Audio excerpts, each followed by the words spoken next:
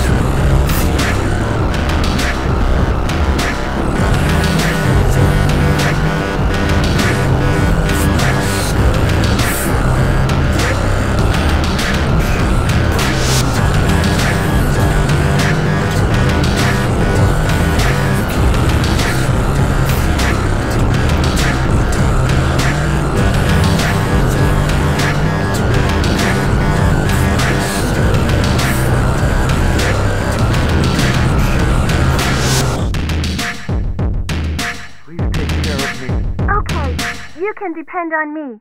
But